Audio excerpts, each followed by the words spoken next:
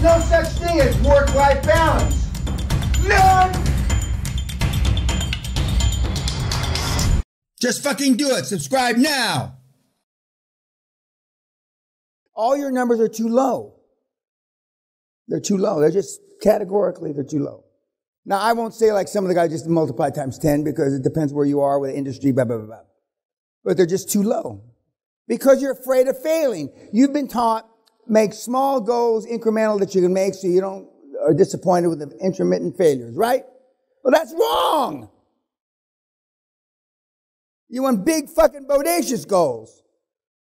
Like Obama, I'm gonna be the first black president. Or he's smoking crack as a fucking, you know, 19, 20 year old kid. You want big goals.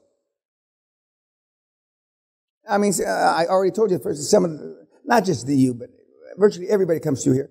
So the goals are just, they're pathetic, but they're a, they're a, uh, a product of your economic and uh, social milieu. They're a product of where you came from. They're a product of how you were raised. They were a product of, uh, obviously, back to your parents. That's why your goals are so fucking low.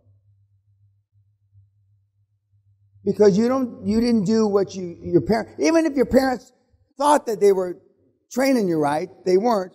You didn't do what your parents, they told you to do. You, you saw what your parents were doing. If your mother scrubbed toilets and your dad was a cab driver and he said you're going to be a multimillionaire, what are you smoking, Pop? Give me some of that shit.